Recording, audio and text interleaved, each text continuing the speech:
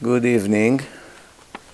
This lecture, Bezrat Hashem, will be Leilui Nishmat Zev Ben Suraya. This is the 11th month. And uh, לרפואת הדסה בת רות, מרים בת פרנג, and תהילה הלנה בת הדסה. תהילה, הדסה, בת הלנה? הלנה. Uh-huh. And uh, לעילוי נשמת יפה רחל בת, can it be יפה רחל בת יפה? No.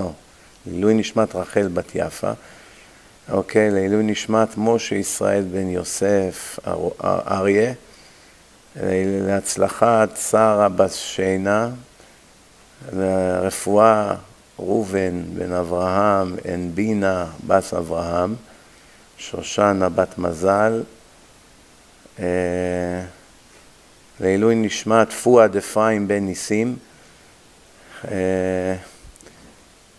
לפושרונה בת מזל, ששותפה עם זיווג במהרה, עם רפואה שלמה, נעמי בת מזל, עם דיוויד בן מזל, פור שידוך.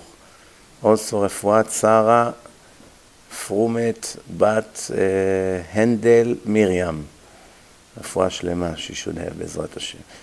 and also uh, also Tough. I think I covered everything. Tov. Baruch Hashem, I'll start with good news. The number of people in Israel that have corona is the lowest it's been. It's almost close to zero almost. Less than 200 people in a hospitals in bad condition. It was mamash six, seven times more on a daily basis. Now Baruch Hashem is dying out.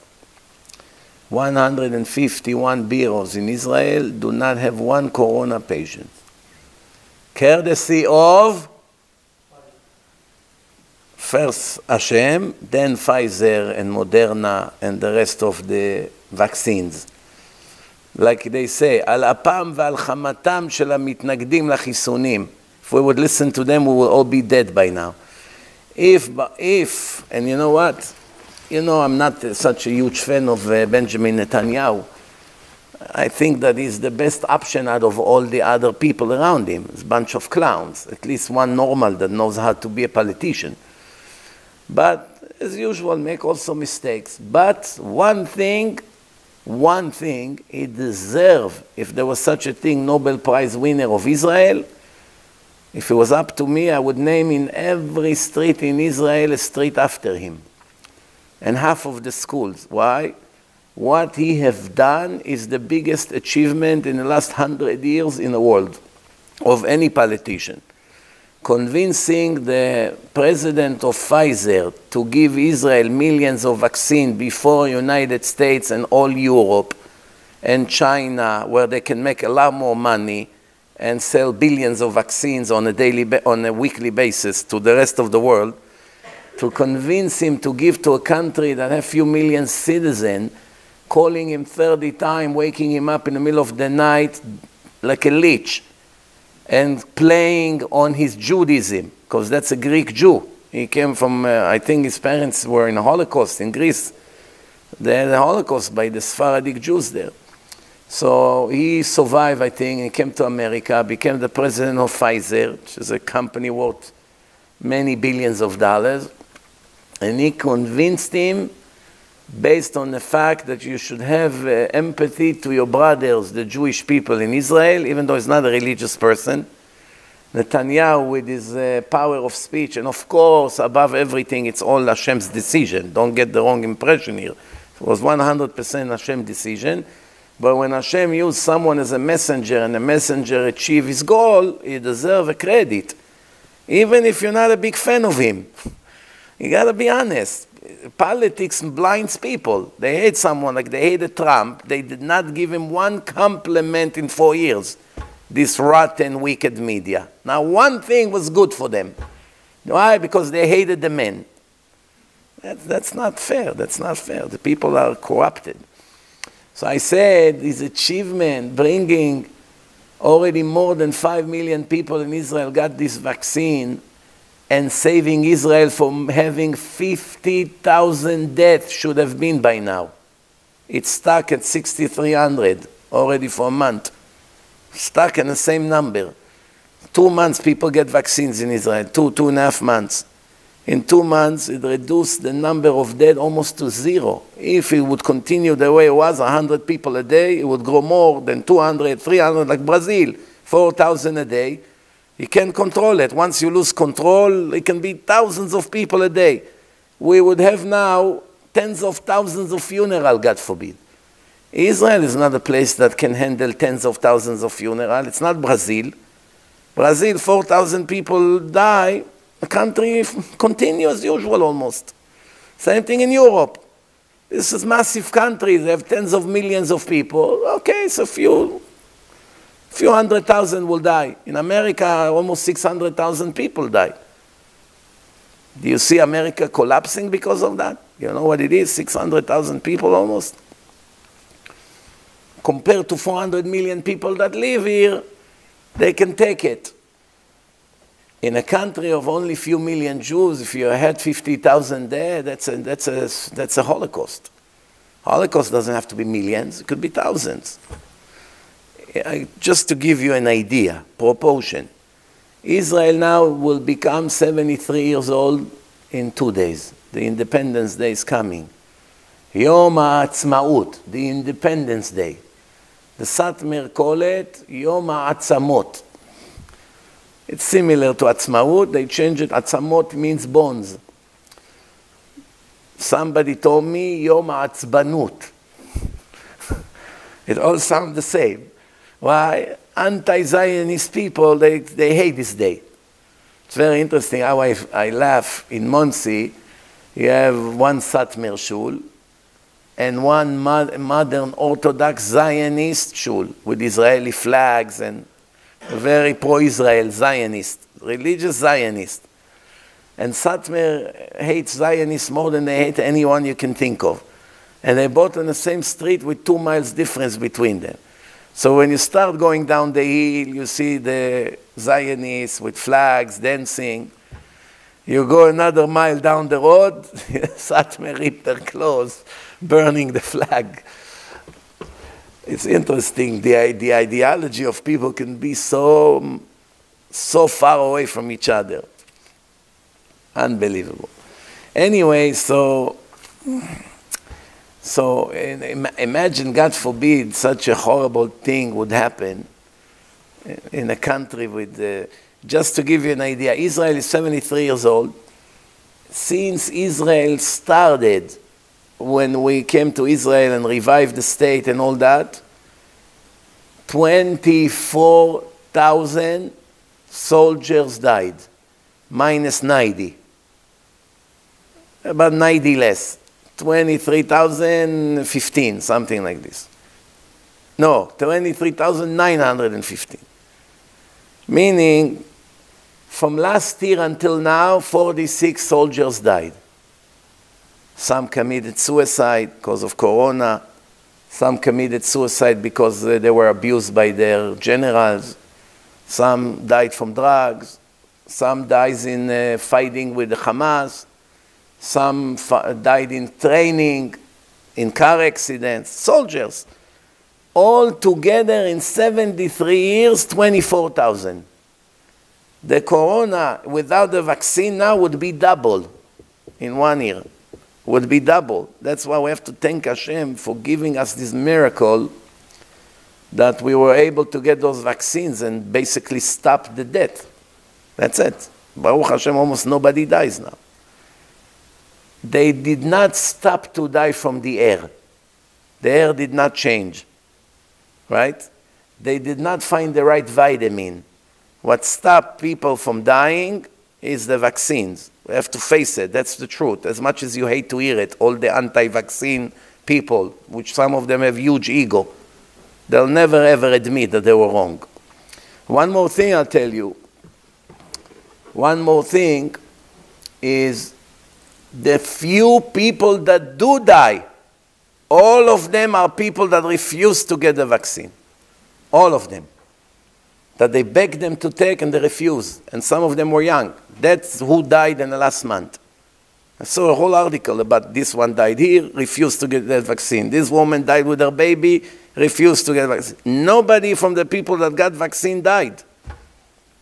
Nobody. Do you understand what an achievement this means? The companies say they have 95% success. It's true. From every 100 people that got it, five of them can still get corona. But even they get the corona, it's very weak. Because after all, they have antibody. So it saved a lot of people, Baruch Hashem. So Hashem made us this miracle. Look, you, can, you, can, you have to see blind not to see the miracle of Hashem here. If Pfizer will do it the way business world required, Israel should have been the last in the list. They would give it first to United States, which is 400 million people, and then to Europe, which is few hundred million people altogether all over Europe and then to all the rich Arab countries, Dubai, Saudi Arabia, the entire Emirates, all this, it will already be two, three billion people that would have to get it logically before Israel. That means we'll have to wait two more years. And by then, who knows how many deaths we would have. But you know what? Death is one tragedy. There's another tragedy, financial. We are now in more than 200 billion shekel deficit. 200 billion shekel deficit. How many years is going to take to bring back to the, to the balance we had uh, about a year and a half ago? Who knows how many? Only Hashem knows. Another year like that, we would become a bankrupt country. What happened when the government go bankrupt? Everybody kill each other on the street riots, people kill for food, people go into houses with guns and give me to eat, if not, I'll kill you. Give me your diamonds, have nothing to lose. Decent people. Chaos. That's what happened when, when, you, when you cannot take your money out of a bank account. Like it happened in Argentina and some other countries. You have a lot of money in the account, you come to the ATM, sorry, only $500 per month limit. Well, I can't take money until government seized all the money. Right? They have to function. Otherwise, everyone will die. It's an emergency state. That's what would happen. No joke about it. This would happen without those vaccines. So you have to know, you have to know, you have to appreciate. And I'm, and I'm saying, Netanyahu made a lot of stupid mistakes. He also did a lot of good things. There's nobody that play in the dirty politics and do not make mistakes. There's no such thing. They do good things, they do bad things. He did some great things, he did some very stupid things. But, but, what he have done with the vaccine should put him in history books of Jewish leaders. And again, according to the Torah, is 100% wicked. He cannot be a part of the minyan. If he would come here, I would stand for him, for saving thousands of thousands of lives every month in Israel. Someone that saves so many thousands of lives deserves appreciation. But if we had to count him tonight in a minyan, he would not be one of the minyan because it's Mechalel Shabbat. Mechalel Shabbat, when he dies, he has no share to the world to come. We spoke about it hundreds of times. No matter how great of a politician he is, even if he's the king of Israel, doesn't matter. Yeah, what he deserve appreciation, he deserve. We have to appreciate what he have done. If it would be one of the lefty idiots that fighting against him now every day, we would never get the vaccine in 700 years from now. It would take 700 years to get maybe one shot. They would send you maybe with FedEx. You know, that's what would happen. But he, realized the danger that Israel is in. He started to call Pfizer to his cell phone at 2 a.m. Do you know another prime minister that would dare to do such thing, to call a multi-billionaire uh, uh, tycoon businessman who basically control even United States politician because they give all the money to the senators, such a powerful person, calling him in the middle of the night, waking him up, say, Bibi, it's 2 a.m. Say, yes, we're looking life and death here, no time to sleep. And in the end, he, gave, he convinced him to give. Thank Hashem for giving him his Jewish heart woke up, I guess, from those conversation. And he, Baruch Hashem, agreed to give Israel the vaccines before United States. They go crazy here. They went crazy here. What's going on? He got a lot of criticism for that. Why are you giving Israel? Why? We, Pfizer, it's an American company. Why are you giving a stranger vaccines when, when so many people in America are dying? It attracts a lot of fire. But he, Baruch Hashem, did it. So, I don't know if you're listening some a little bit to the news, but uh, but since today it's the last lecture, tomorrow I fly Bezrat Hashem to Israel, Im Hashem. The good news is that we're to still put, in, put every week two lectures, new lectures. I put about seven or eight lectures on the site that we never posted. Remember, I told you there's too many lectures. So now it's the time to post them two per week. Lecture we never posted online. So you will have what to watch until I return, Bezrat Hashem. Israel escalating the war with Iran. They realize the Democrats are pro-Iran, they're anti-Israel, like Hussein Obama. We're back to the days of Hussein Obama. So, yeah, he's, he's in control, obviously. So, he does everything on purpose against Israel. That's what he did when he was the president. That's what he's doing now. He wrote it in his book. He's not even hiding it. You know, so he actually admitted he never dreamed that he will be back in power. Now he has to deal with the statements he wrote in his book against Israel and against Netanyahu. Because now we know the truth. He cannot pretend that he's a pro-Israel president. So he's putting now in charge of the deal with Iran a very anti-Israel anti-Semite that hates Israel and everything he have done, he fight, fought Israel in Congress always. Mamash, like, like one of those Arabs anti-Semite, that's what he is. And he is in charge to give Iran back their power, to remove the sanction. That's what's going on. The Israeli understand, that's it. It's inevitable. We're going to go into war with Iran. There's a midrash about it, that Iran will attack Saudi Arabia, and that's how the final war will start. Now you see, the, it's very logical. Saudis are shaking from them. Saudi made an agreement with Israel. They're working now together with the Emirates. Very, very possible that there will be a war this year. Very possible. And Israel are attacking Iran on a daily basis, every day. In Syria, they're bombing them every week. They bomb a huge boat now, caused them a huge damage on that boat two, three days ago. And today they attacked the nuclear place in uh, not not not Naz. What's the name of it? Natanz. Natanz, one of the nuclear places in Iran, with cyber attack. They created fire in a place. I don't know if the Israeli have such ability through cyber to go into a nuclear facility that has probably the best security you can get in the world. They have all Russian scientists build it for them. They actually protect the place. It's not fools. The Israelis again and again and again penetrating all kinds of all, all kinds of computers in Iran, either electric and nuclear and and they make them all kinds of accidents and fire and eliminate their scientists, and they can't retaliate, Iran. And they have the power. But Hashem is mama saving us from them. They can't really retaliate. They try. They try to bring down the electric. They blackmail Israeli companies. They steal information. But the damage is more like shame and financial, not really serious damage.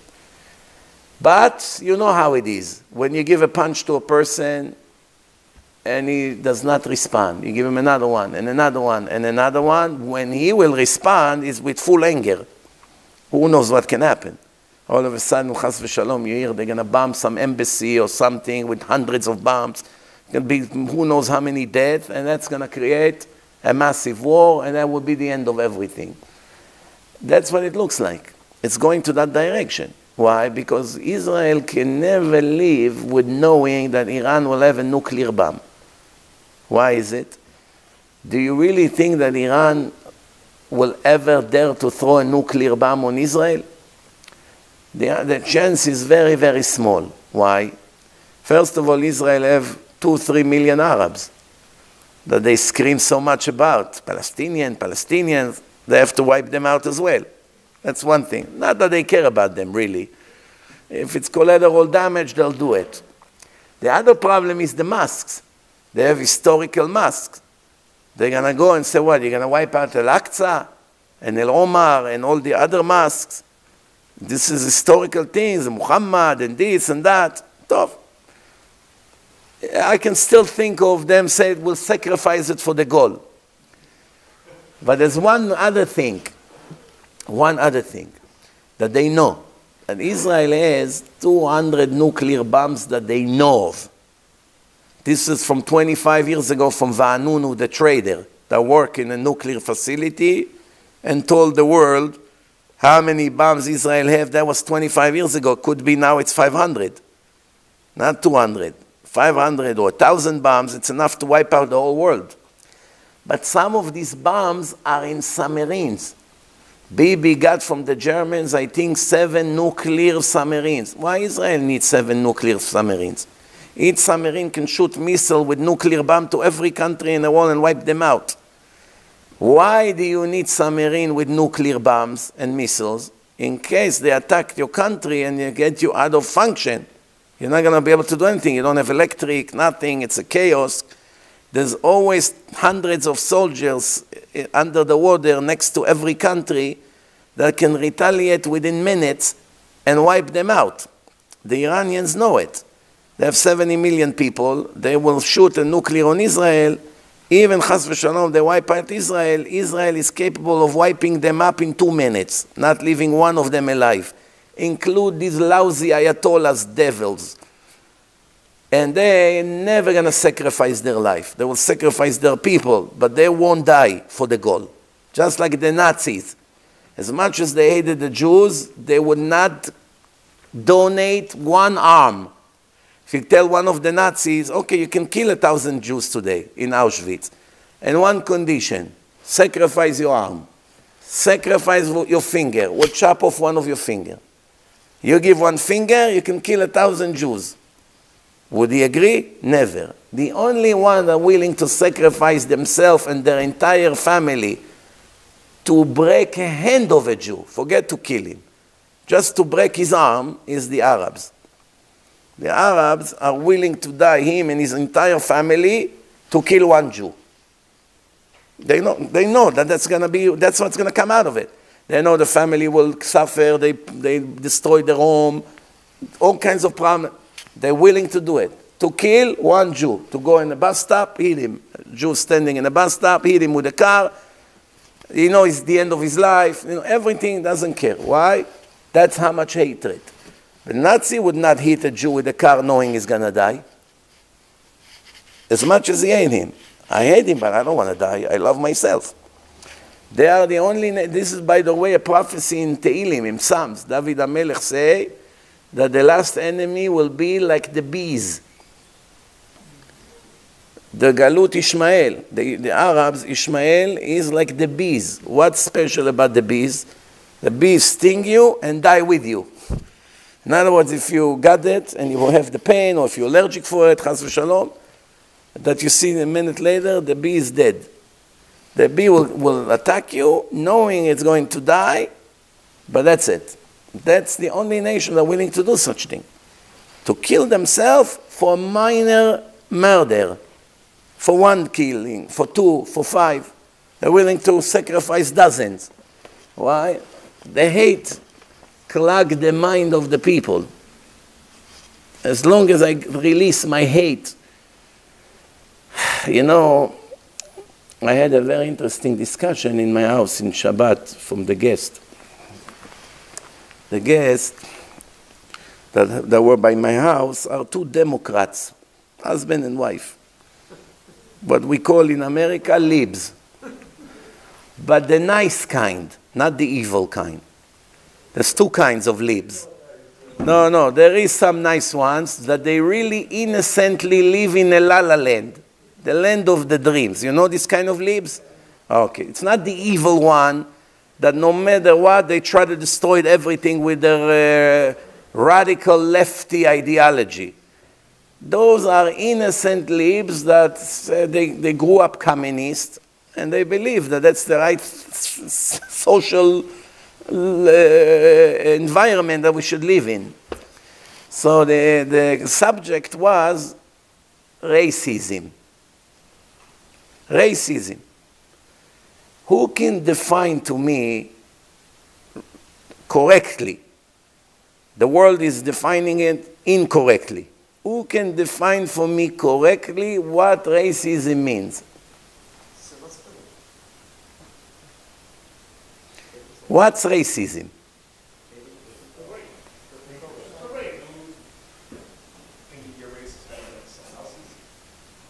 So you hate someone because of his race.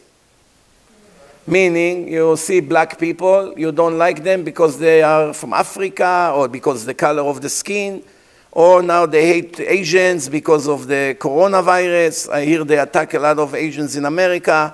There's more attacks than ever against Chinese and against Oriental in general because some people do not know to tell the difference between Chinese, Japanese, or, or Thailandi. It's a little bit hard for Americans to know. So they attack all kinds of Asians. I hear there's a lot of attacks. I don't listen to the news, but someone told me that there's a lot of attacks now. I ask why? What the Chinese has to do with Americans now they're attacking them? The answer, blame them for Corona. There's a lot of bitter people here. Millions of people lost their job, lost all their saving, lost relatives. They're full of anger and frustration and emptiness and depression, and they need, they, they want to find someone to take their anger out on. Usually it was always the Jews. The Jews. Cuomo Hashem prepare for Cuomo something extra special, don't worry. You don't want to give him such an easy end. So, so usually, whenever the goyim were, were in, in madness or in anger or frustration or disappointment or depression or anything like that, who would pay the price? The Jews. Check out history. The Jews of that country. Now, for whatever reason, they have more anger to the Asians than they have anger to the Jews, because the anger that they have to the Jews is always the same anger. No matter what they're going to do, there's going to always be anger. But now it's specific anger because of the corona. Logically, what is a Chinese guy who lives in Manhattan 20 years has to do with corona? Let's say it was a lab error, that they made a mistake in a lab in Wuhan, and because of that, we're suffering already for 15 months of so many tragedies and problems and headache and suffering because of the Chinese lab somewhere in, in China. Let's say it's true. If, that's, if this story is really true, what does it have to do with the Filipinos, with Thailandi, with Chinese that lives in America, Japanese? What does it have to do with them? Do you see one tiny connection between this and that? Same thing if a Hasid walk without a mask in the area of Goyim and they got angry, now they want to kill all Hasidim. What's the connection? Because one Hasid did something against the law, and there's thousand who walks with mask, you want to kill all of them because of him? It makes sense? Doesn't make sense. General punishments is nothing new. A teacher punished the whole class for one kid who broke the glass and he refused to confess. Why is it different than the teacher? The teacher say you have until 2 p.m. to tell me who broke the glass.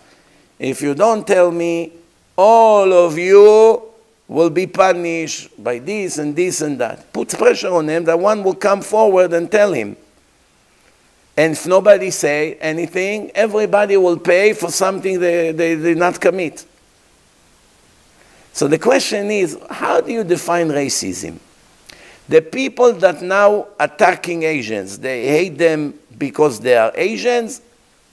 No. If they would be European, let's say, French, they would also hate them. If the corona would come from France, they would hate French. If the corona would come from Scandinavia, they will hate uh, the Swedish and all the other ones. So it's not because they're Asian. So it's not racism. It's just pure stupidity. It's nothing to do with race. They never had anything against Asians. If, the, if it would come from Africa, from someone in Nigeria, so they would hate all black people now. It's not because they're black, because they think They brought to us the corona. It's pure stupidity. Happen to be black, happen to be Chinese, happen to be Hasidic. Do you understand what I'm saying? That's not racism. That's just pure stupidity. You're just a stupid person. You hate innocent people that have no connection to the crime. You understand so far? Okay. Profiling specific people or specific cities or specific neighborhoods. Is this racism or no? You go by the zip code. These people from this zip code check their suitcases every time they come on a plane. From this zip code, do not check. You can check one out of a hundred random, that's it. Insurance, insurance company. If you live in specific zip code, you're going to pay $6,000 a year on your lousy car. If you live in that zip code, you're going to pay 1200 A fifth. Is this racism? Profiling. Profiling. Is profiling is racism? For instance, you have a crime neighborhood somewhere in New York. Let's say happen to be a black neighborhood or an Arab neighborhood. There's a lot of crime, shooting, these, bombs, whatever. The insurance company know they lost in this neighborhood 10 times more than they lost in Monsey. It's quiet. Nobody robs anything. Nobody shoots there. you know, it's a quiet area. It's very safe, Baruch Hashem. So in Monsey, they will charge you X amount on a car. And in that uh, dangerous area, in Brooklyn, Manhattan, whatever it is, they're going to charge you three times more. Is this racism?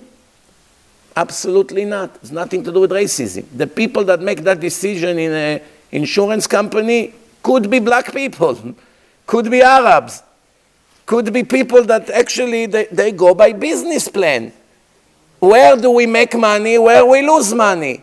It happened to be that this specific neighborhood happened to be black. It could have been white people that have more crime. It could have been Arab that have more crime. It could have been Europeans that over here there's a lot of, uh, I don't know, fighting between them in gangs. It could be many different kind of people. Going after this specific area or the kind of people that live there or the kind of immigrants that live there doesn't mean that I have any prejudice opinion against these people. I just go based on the statistic. If the statistics show that in one city, one out of 10 citizens is a thief, insurance there would cost few times more than in other place. And if there is a different city and over there there's no robberies, why should we, we, we charge so much? There's no, no losses. Profiling, is this racism? Also not. Today in America, every time you profile someone, immediately racist, that is a racist, people do not know what race is. Racism means you hate someone because of the color of his skin, because of the country he was born, because of religion. That's because you, in general, you hate this whole nation. Why? For one specific reason. That's racism. Nothing to do when they good, when they bad. You hate them when they good, you hate them when they bad, you hate them when they quiet, you hate them when they make noise, you hate them when they rich, you hate them when they poor. Jews are the best example for that. Anti-Semitism is all over the world. Half of the people in the world hate Jews. Regardless of what the Jews will do. They help science, they hate them. They help business, they hate them. They hurt business, they hate them. They, uh, they travel from one place to another with no place to live, they hate them. They have their own state, they hate them. When they're extra brilliant and contribute to the world more than anybody else, they hate them. When there is a period of time that they will not contribute to the world, even though it never happened, but assuming, they will also hate them. When the Jews will be extremely rich, they hate them. When they were extremely poor, they hate them. That's racism. It's nothing to do with profiling or what the Jews will do or will not do. That's called pure racism. Do not mix profiling and saying that in specific, like Donald Trump, he said, I put seven Arab countries in a blacklist. I don't want any tourists from these countries. Why? It's countries that have high amount of terrorists based on our knowledge, CIA, FBI. They export a lot of murderers to the world, these countries. I want to minimize the risk to the people of my country. So I'm willing to lose the tourists uh, and their money because a lot of them are innocent tourists who wants to come spend money in America, which is good for economy. I'm willing to take the loss and I don't want anybody from this country to come for X amount of time. That's racism? Absolutely not. If you would say all the Arab countries in the world cannot come, there could be racism. But if you say from this country they can come, from this country they can come, from this Arab country they cannot come. What kind of racism is that? If you're racist, you hate all Arabs. Why would you let one country like Egypt, they can come, uh, Saudi Arabia can come, and uh, Bahrain can come, and Abu Dhabi and Dubai, but Iraq or other dangerous countries, they cannot come. Why? We have record. We have record where is a higher danger. Based on the history with this country, Sudan, very dangerous country. All the terror camps are there. They train so many people, so many terrorists, very dangerous people with dangerous ideology. You let them into the country, they come as tourists. You're going to make yourself Al Qaeda and ISIS in every town in America after 10, 20 years. It's very dangerous. Comes the Democrats on purpose oh, Trump did that, he's a racist. We open the borders, everyone is welcome, Sudan, Iraq, Iran, everyone. Every fanatic lunatic, everyone that's writing the internet that is pro-murder of innocent people is welcome to come, welcome to become a citizen, and inviting the next September 11. What, what caused September 11 here in America? 15 Saudi students who came to America on a, on a student visa, visitors. Nobody checked them. Nobody checked who they are. Nobody checked their agenda. Nobody checked their page to see what they believe in, Al Qaeda. Free. And then they go and they learn how to fly, and they don't learn how to land. And nobody saw, nobody saw that something here is fishy. Why? They're afraid to be called racist. If the owner of the flying school will call the media or the FBI and say something is very dangerous happening in my school. 15 Arabs are learning to fly, but they don't want to come to learn how to land. What they would say, racist, shame on you. You have anything against Arabs? No, I happen to be married to an Arab. That's not the issue. The issue here is something is dangerous now. Happen to be Arabs, it could be Chinese, it could be Japanese, who knows? But right now, that's what we have. But everyone is afraid to open their mouth. Someone told me now they're going to start changing signs in New York now. Some of the signs, they consider them racism. What kind of signs they're talking about? Huh? Oh my gosh. That's the problem, Rabotai. It seems like that now everyone hates everyone for no reasons whatsoever. I, I, I don't remember the world have so much hatred like now. Courtesy of social media. What took Hitler years to do, if he would do now in a time of Facebook and all this uh, social media, would take him hours to brainwash his people.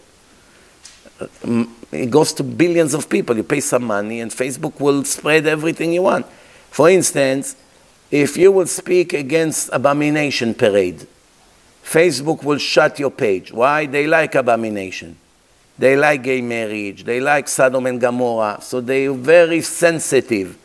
If someone has something against them, immediately they block your mouth and your keyboard. But the most radical Muslim terror organization have free thousands of Facebook pages which they called over there clearly to murder innocent people in all over the world, and they do not shut one of their pages. Freedom of speech. Why I don't have a freedom to say that I hate abomination and I hate people that live against the laws of nature? Why it's not freedom of speech? Because that's racism. But to say kill all Jews, that's not racism. And who on Facebook? A Jew. Who owns all the other media? Most of them Jews. Sometimes it looks to me that they enjoy to promote hatred against their own people, like Bernie Sanders. Did you ever see someone who hates Jews more than him? Even the libs that were by my house, oh, we can't stand him. It's totally crazy. Why? He even hate Israel, he hates. They already understand that there is a red line here, that some of these leaves already went too far to the other side. Here you go. This is a little bit preview about about racism. Please do not make mistake with, with profiling based on statistic and with something that called racism. Now, I want to tell you, today they announced a raise of 24% of Israelis that will not be admitted into the army based on psychological and psychi psychiatric evaluation.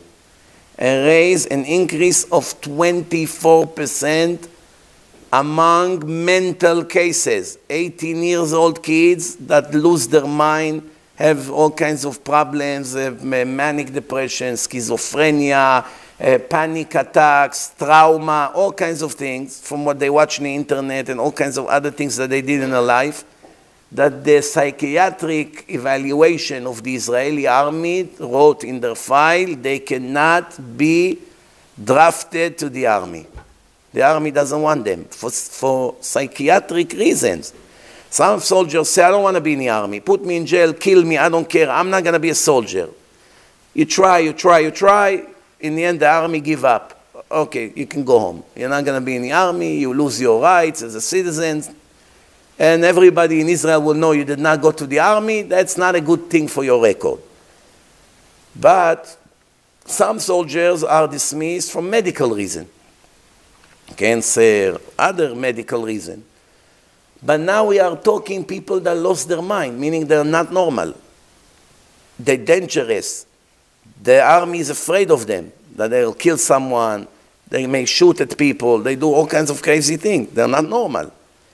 24% increase. We are talking tens of thousands of soldiers per year that are mental, that will never be married, that will never contribute to society, and there are potential bomb in our neighborhoods.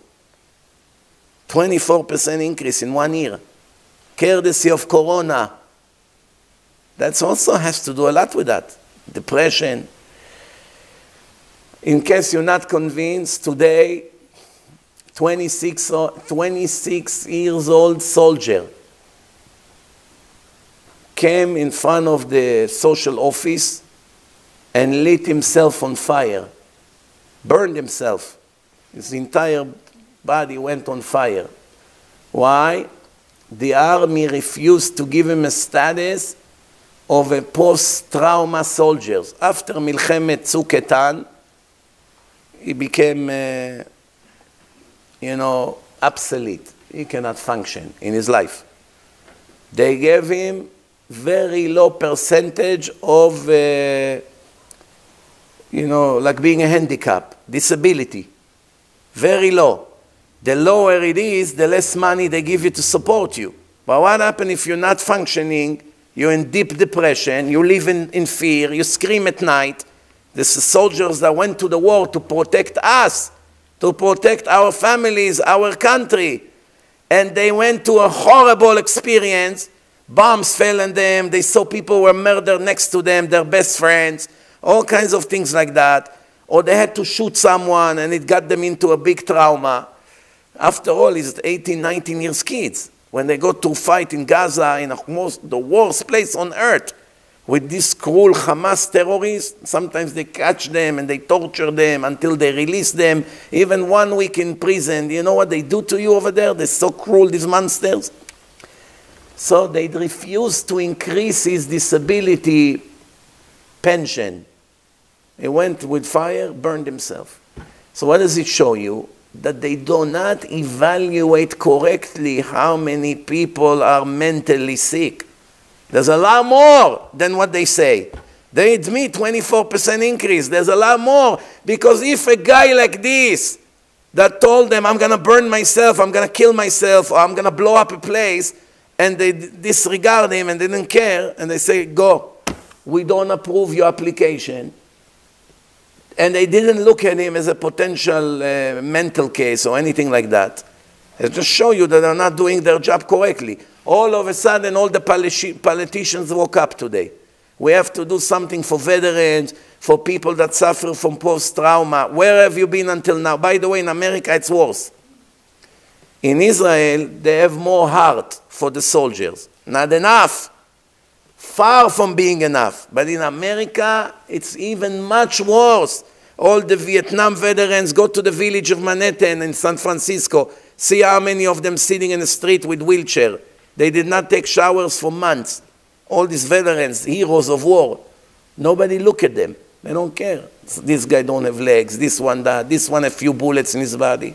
There are thousands of them are homeless. Many of them are heavy drugs because of the trauma. And many of them are homeless. How can it be that a country that sends thousands of soldiers to fight for us and risk their life, instead of giving our heart and life for them, to make it up to them that their life is destroyed, we throw them to the street to become homeless and heroin addicts. Something is not right here. This is happening because there is no Torah, no appreciation. People today are very ungrateful, very ungrateful. You can go to a, a person that bring you into his home, let you live there a year for free. You know, it does not take your rent, take from your rent let you use his car when you need it, give you everything you need because you know you have no place to live. And the one time you give him something, you lend him something, let's say you, you have a car and you lend him your car and he bought you the car without full tank. You gave him the car with full tank, let's say $30, and he gave you the car with half a tank. So meaning he caused you a damage of $15 and you attack him. Shame on you, I'm giving you the car with full tank and you're giving me half a tank. What kind of a person you are? How do you dare to do such thing? What about the fact that you live by me for a year for free? It already cost $20,000. Food, electric, heat, rent. Somebody else would live here, it would be rent every month, no? They don't look at that because their nature of most people today in the world is they are fully ungrateful.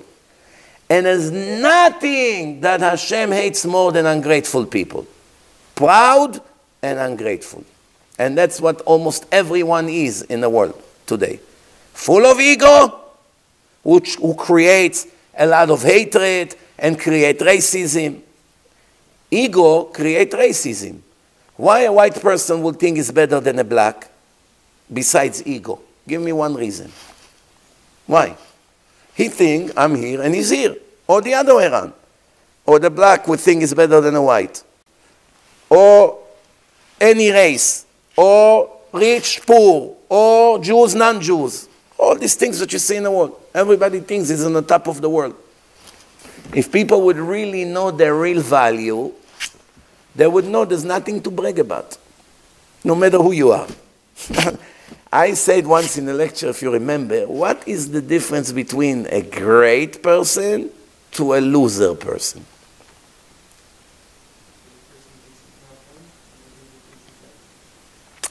Not only the great person thing is nothing and the loser thing is something, the great person will always be in his life busy hiding his greatness and his achievements.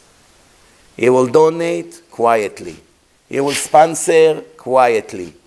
He will help people, and when people give him credit, he will be embarrassed. Oh, no, you exaggerate. I did nothing. It wasn't me. That's a great person. He will never jump and say, hey, how come you didn't give me credit? Hey, how come you didn't put my name on the wall? You put his name, why my name is not here? You see all the names over there? Why I'm not there? That's the way of the losers, not of the great people a great person. They have a joke. So one person came to Rav Ovadia. He said to him, Rabbi, they said that you know the whole Torah by heart. So Rav Ovadia said to him, ah, don't exaggerate. I only know half of the Torah by heart. So the guy said to him, which half? He said, whichever one you choose. but that's only the joke.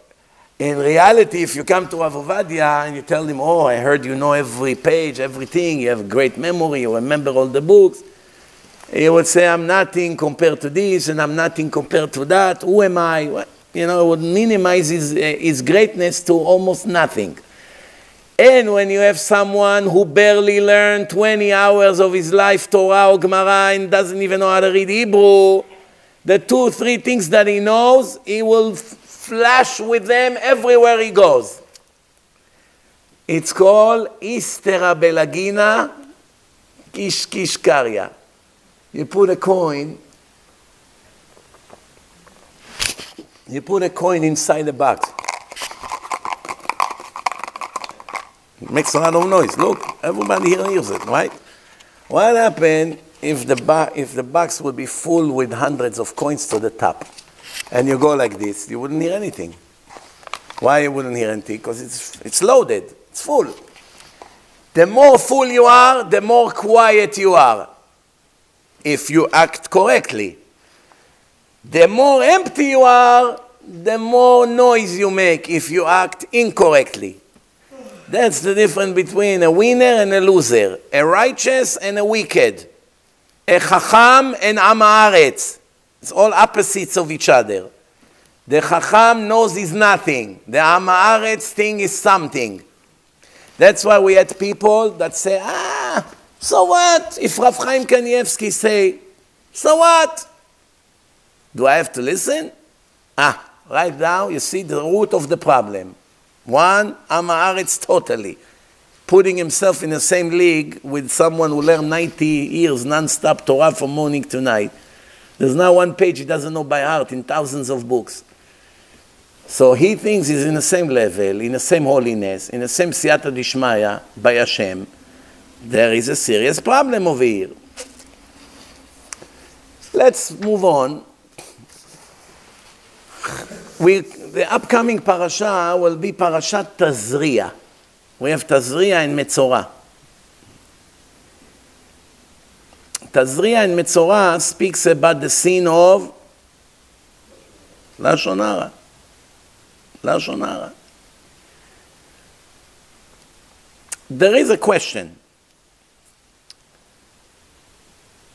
Shabbat, the word Shabbat. In the Torah, אם תשיב משבת רגליך, עשות חפציך ביום קודשי, וקראת לשבת עונג. לקדוש השם מכובד וכיבדתו. וכיבדתו. it should have been vechibadeta. Shabbat is male or female? Let me explain for, for those of you who do not, do not understand what I'm talking about. In English, you don't have male and female. When you say you, you can be a man, you can be a woman, right?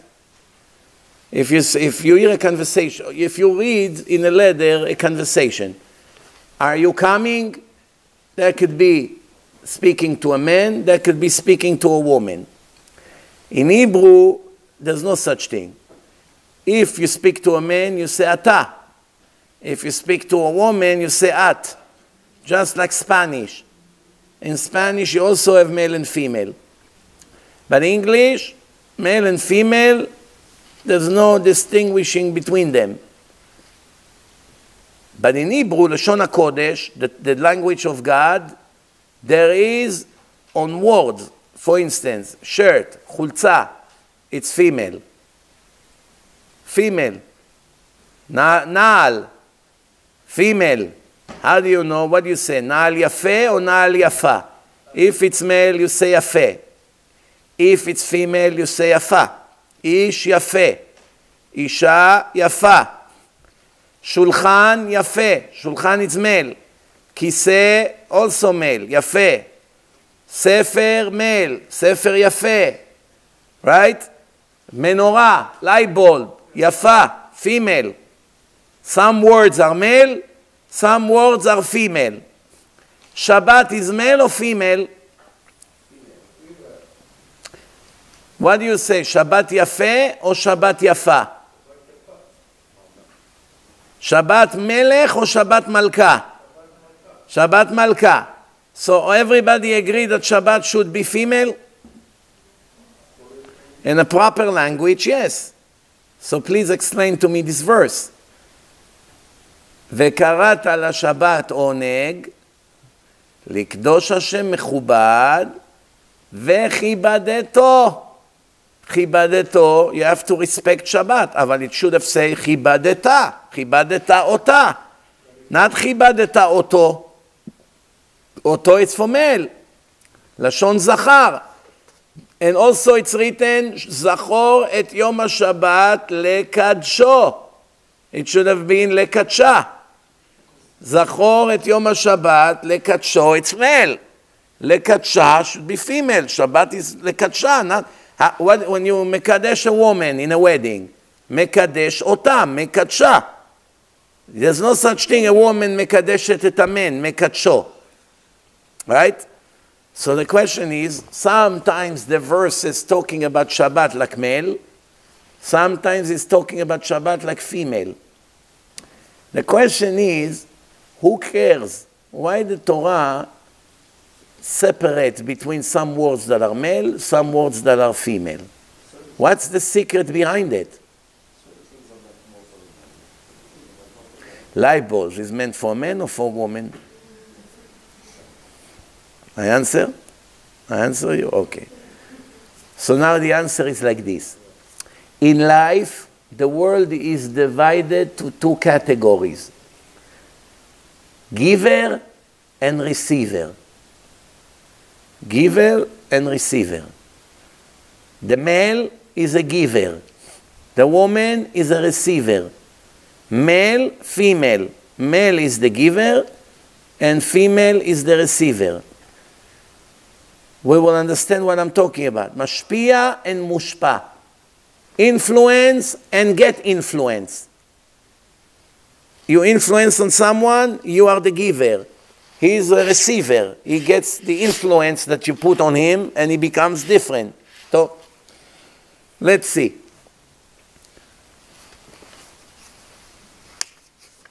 It's written Shabbat, usually it's always female. Why? Shabbat is a receiver or is a giver? Shabbat is a receiver. Where does the Shabbat receive from? From the days of the week. It's all preparation for the Shabbat. What you do on Thursday, shopping for Shabbat. Friday, shopping and cleaning for Shabbat and cooking. Everything all week you prepare for the Shabbat. So the Shabbat is the receiver, and everybody serve the Shabbat. The Torah say, מי שטרח בערב שבת, someone worked before Shabbat, Shabbos Eve, יאכל בשבת, will eat on Shabbat, meaning if you prepare before Shabbat, you will have what to eat on Shabbat.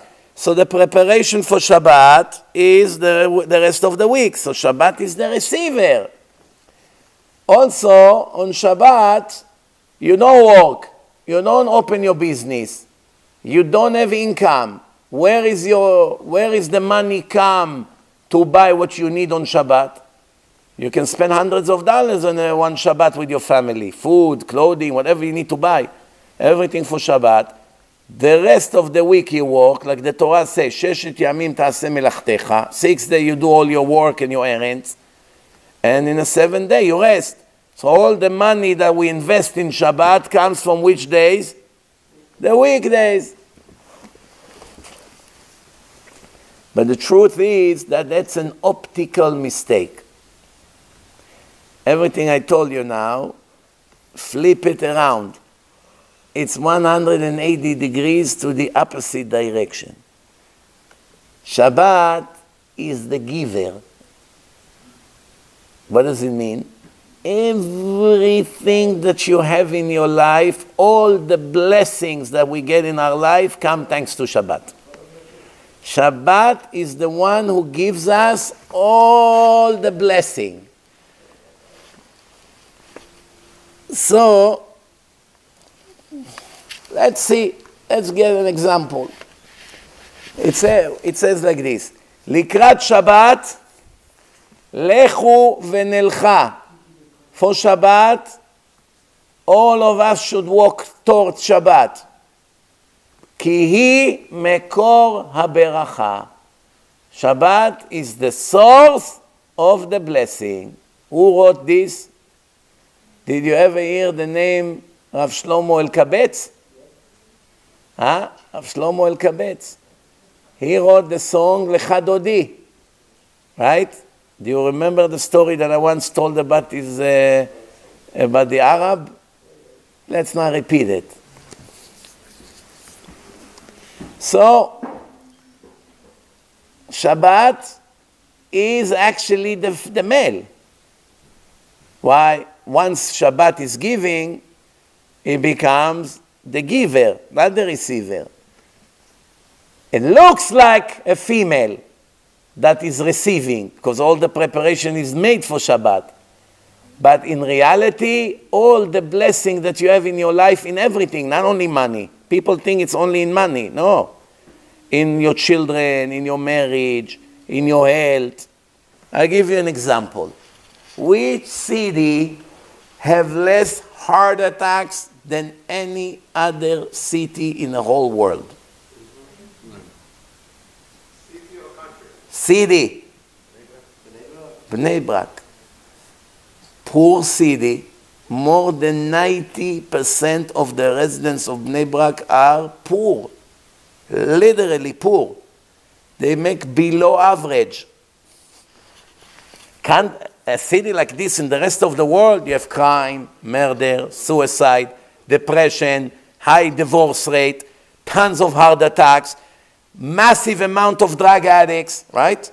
In every minority or very poor society that people don't have money and they live on the street and the, and, the, and the family is broken. I don't have to tell you how the city looks. Horrible.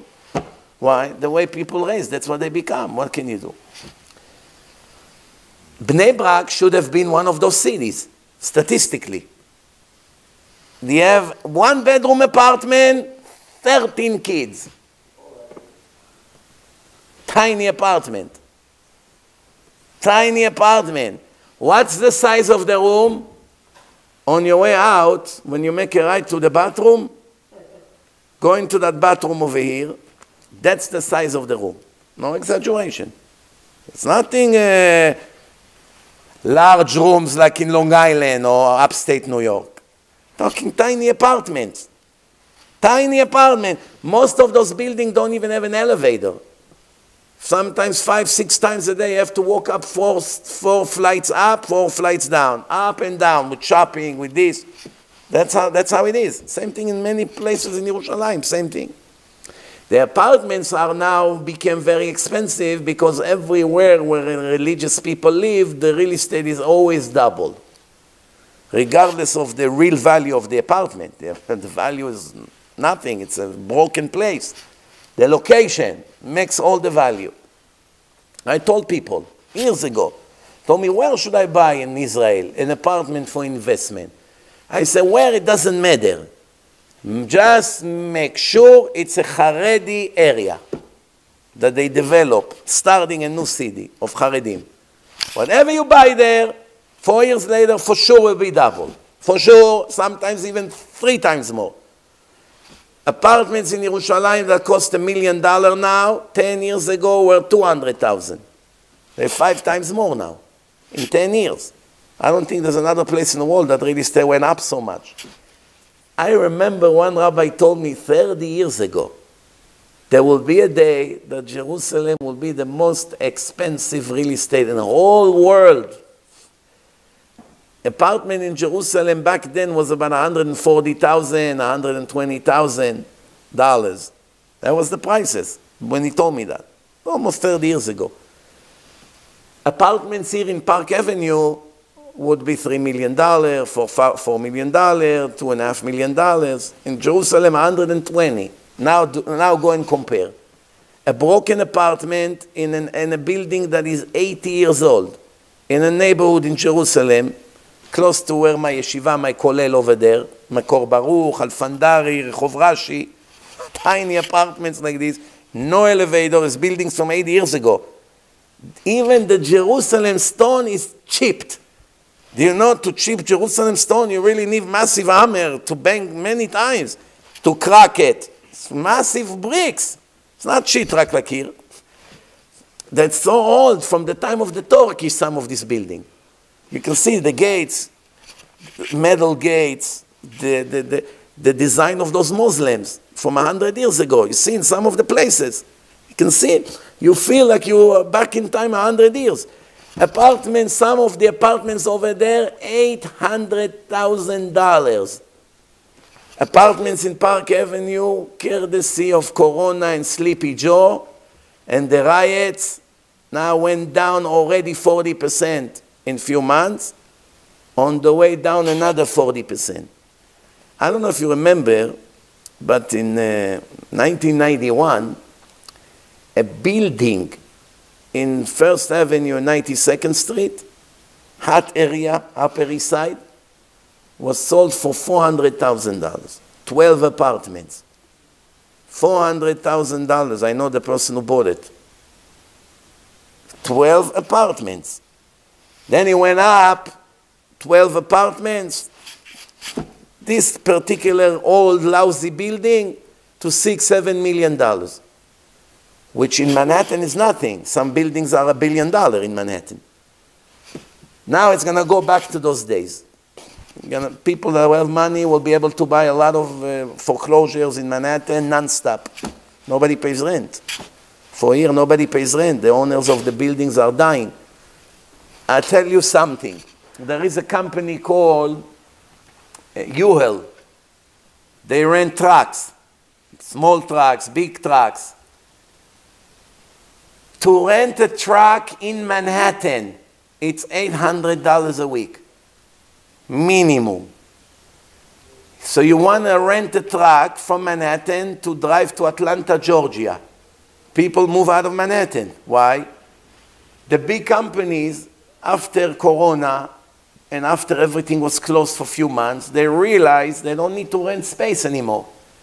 People gave them the job from their homes. They got everything they needed, and they don't have to pay social security, they don't have to pay high salary, they don't have to rent buildings. Fantastic. We can hire a guy in India, and one in Ukraine, and one in Israel, and one in uh, anywhere you want. As long as they pass the interview on Zoom, they have the skills, this is what we need from you. Yes, yes, no, you're fired. No rights, no lawsuits, don't have to pay for them, not you this, you racist, get lost, go back to your, to your people. What do you, do you think I owe you something? I give you a job. You want it? No, you don't want it? Goodbye. They don't have the headache. Over here, you fire someone, right way, lawsuit, you fire, you racist. Why? Uh, you fire me because I'm black. No, you fire me because I'm Jewish. You fire me because I'm pregnant. You fire me because you know I'm giving birth. So much headache with employees. Everyone will find something courtesy of the hungry lawyers. Now you hire people from all over the world, no rights, no nothing. Just you send them the money once a month with a wire, they work for you, they good computer people. The companies found heaven. Found heaven. What happened as results of that? Everybody moves out of Manhattan. Why professionals move to live in Manhattan? They have to take the subway to go to work. But they don't work anymore in Midtown. Midtown is vacant. It's empty. Everything is, gets empty. So all the Upper East Side, Upper West, everybody leaves. People put everything in a truck and leave Manhattan. So to rent a truck in Manhattan, $800. To rent a truck in Atlanta, Georgia, from there to Manhattan, how much you pay a week? $10. Seven days. $10 to rent a U-Haul truck. Come on, how can it be? Just the tires that will drive would be more than $10 to the company. The cost of the tires, you know, if he's going to do 500 miles, the tires get old. No, They're looking for someone to return the truck from all over Chicago, Atlanta, Milwaukee, far in New Jersey, from everywhere back to the city because there are so many people waiting online to leave Manhattan. So they don't have how to send the, the car. And if they have to hire a driver to drive from Atlanta to Manhattan, they're going to have to pay him for a day or two of work. It's going to be three, four hundred dollars. So to save themselves the cost, they're willing to give you basically the car for free. Just when you're done with the week, leave it in Manhattan. That's the deal. And they come back with the flight, with the, with the, they go on a trip. So instead of renting a car, you see families going on a trip to New York in a U-Haul truck. Someone told me that, I, I didn't stop laughing. A year ago, if someone will tell you that there will be the situation in Manhattan, he would call the psychiatrist. This guy lost his mind. Please, help him out. So that's what's going on. So soon those apartments who are very old and tiny will be more than those fancy apartments in the most expensive areas in Manhattan. Already one person had a house to sell in California for a hundred and something million dollars. In one year, he lowered it to 60 million. 40% drop. Why? Who's going to buy it? This is what's going on, Rabotai. You can find today very, very good bargains, and you will be able to find even a better bargains. The question is, can you call it bargain or it's the end of America? That's the question. That's the big question. Some people think, wow, it's great. I'm going to buy now about 10, 20 apartments foreclosure for, for a third of the price of what they were a year ago or two years ago. And I'm going to wait for the market to come back like it was in September 11.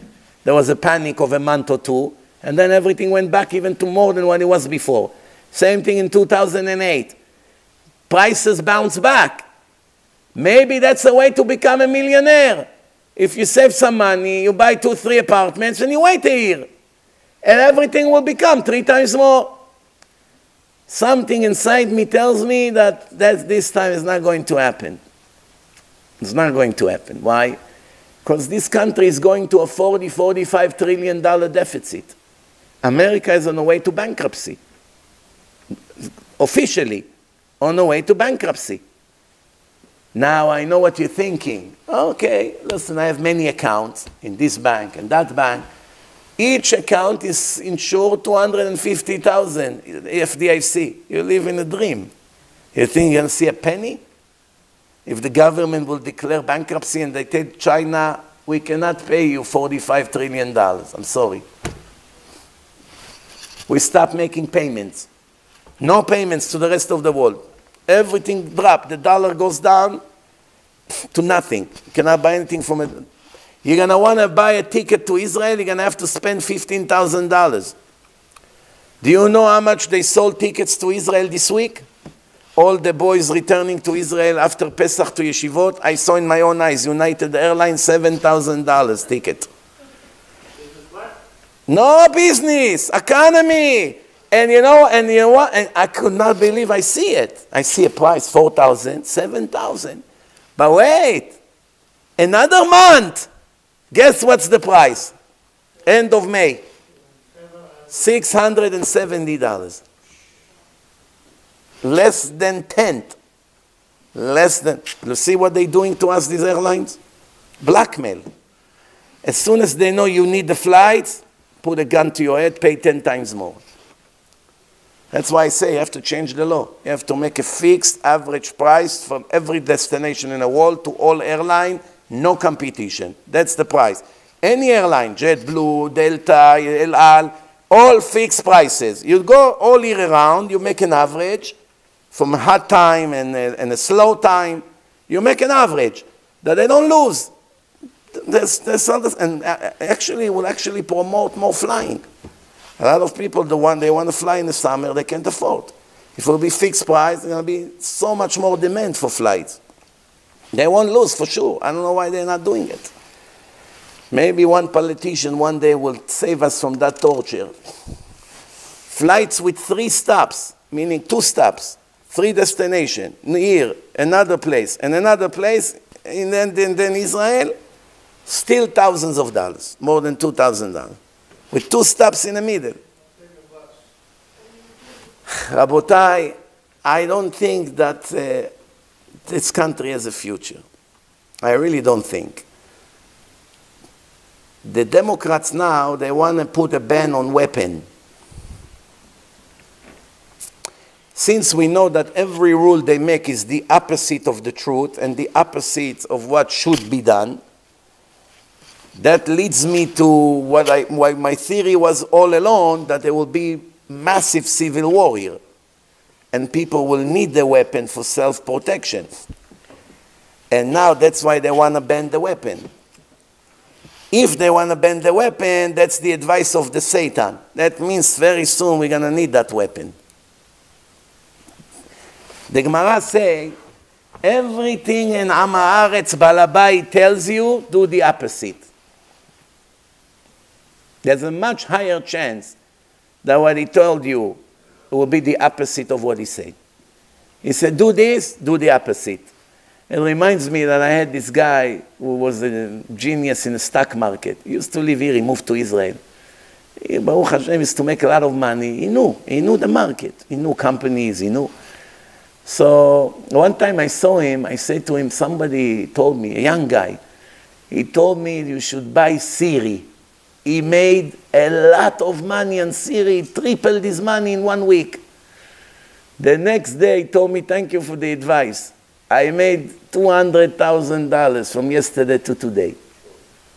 I was so happy. Oh, finally I gave him a good advice. I said to him, oh, you bought it? He said, no, I showed it. I said, why? He said, because I realize if everybody thinks like your foolish friend who doesn't know anything from his life in the stock market, that means the price went up for no reason. It's just a matter of time until it crash. But it happened even faster than I thought. the First thing in the morning, he crashed, he made so much money. So I say to him, you remind me of this Gemara. Everything uh, an Am an ignorant fool, tells you, make sure to do the opposite. For instance, if a guy comes to you and say, why you send your kids to yeshiva? Send them to college. Immediately you know that's the advice of the Satan. Make sure you find him the best yeshiva. You understand why? That's the way the life is. If Chacham give you an advice, it could be good, it could be not, but there is a chance. But if Am Haaretz give you a spiritual advice, usually is always going to be the opposite. The opposite of what Hashem wants. That's what the Chachamim say. כל מה שאומר לך עם הארץ, תעשה הפוך. Same thing we want to ask, אברך כולל, someone who learns in yeshiva. You give him X amount of money every month, and he sits and learns all month. He is a giver or a receiver. He is a male or is a female. משפיע או מושפע. זכר או נקבה. How do you say אברך? אברך יפה או אברך יפה? יפה. So what does it mean? He is a, he is a male. Why is a male? Male is a giver. He's receiving money from people to learn Torah, right? We give, we sponsor him. Hey, Mr. Avrech, I want to give you a thousand dollars a month. You learn Torah, and I will have the merit in your mitzvot. Who gives who? It should have been the Avrech female, and you are the giver. That's exactly the opposite. Why? Chazal say, Masechet Yoma, page Ain Aleph, 71. It's written, Alechem Ishim Ekra, Mishlei 8, 4. Proverbs chapter 8, verse 4. Amar this is a pasuk in King Solomon. Alechem ishim ekra. What does it mean, these three words? Amar Rabbi Birchia, elu talmidei chachamim. Those are high scholars of Torah. shedomim lenashim, that looks like women. ועושים גבורה מאנשים.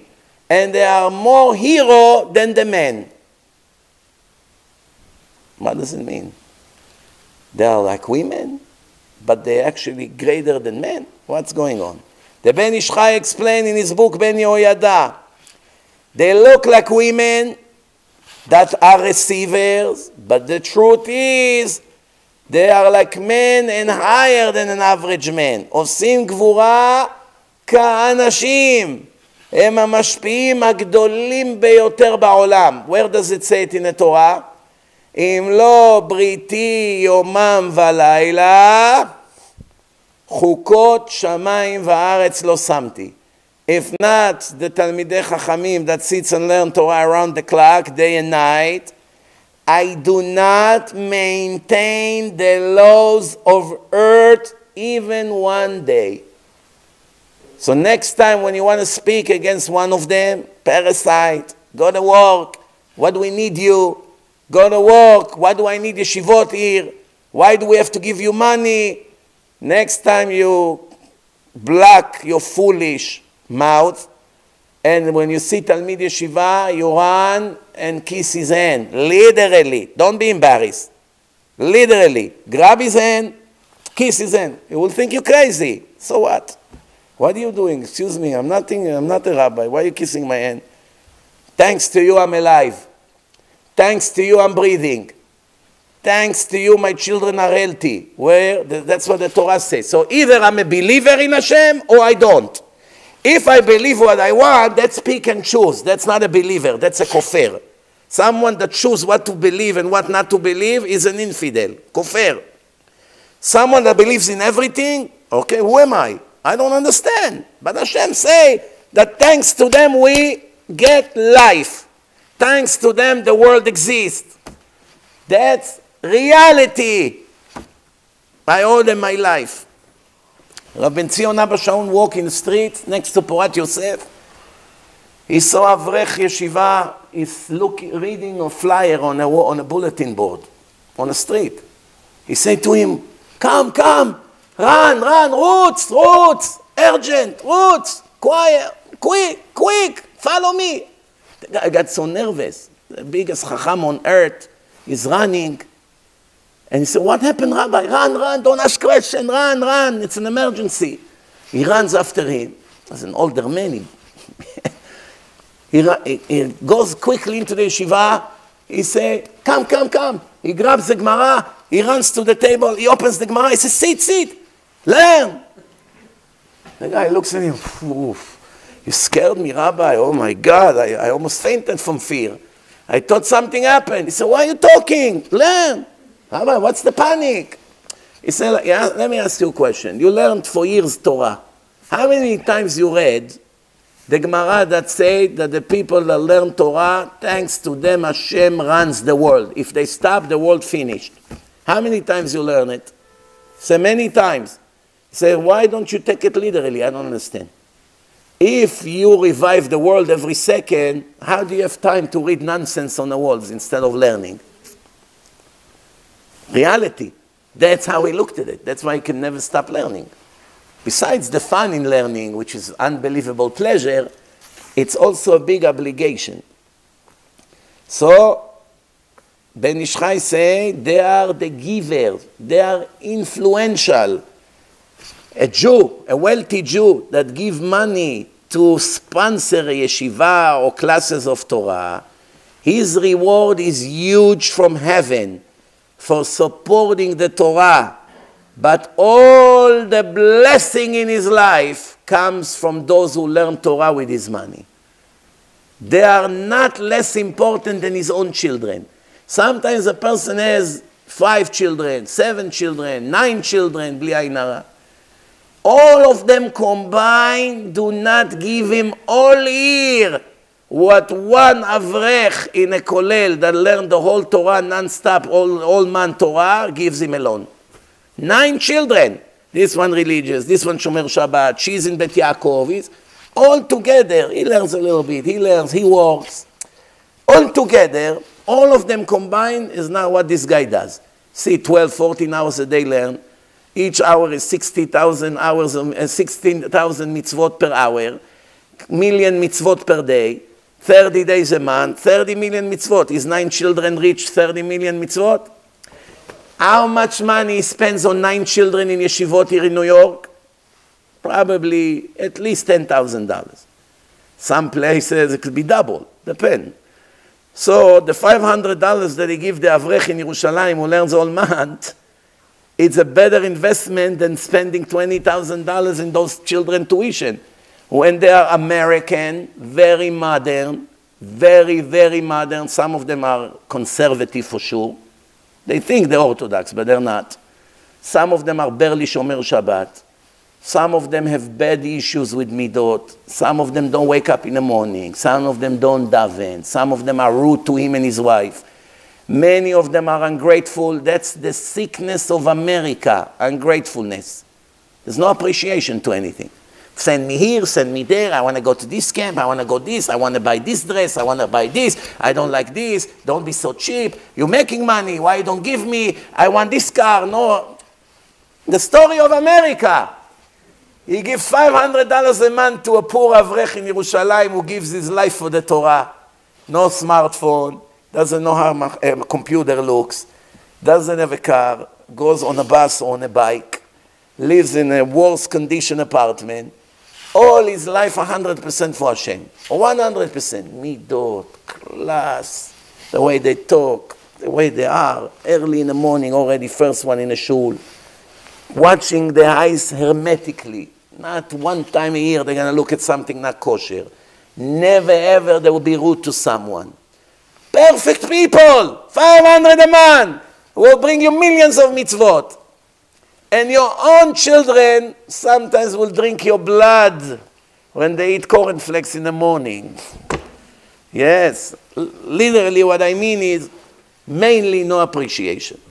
You owe me, you didn't give me, you promised, why you give me so little? I need more. Kadima pap, do something, help. Story of America. Problem is that it's not only in America anymore. It's all over the world. That's all over the world now because what do they see? They go on online and they see all these, all these ideas from the movies they watch.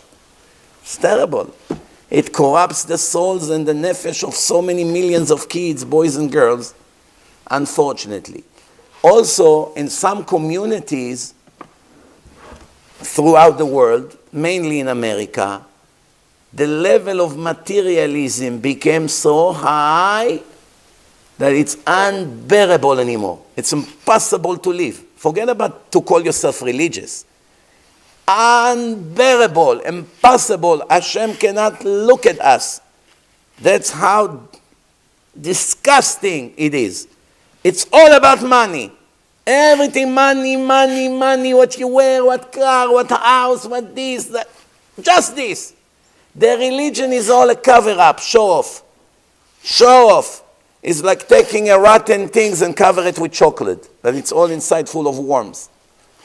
That's what's going on.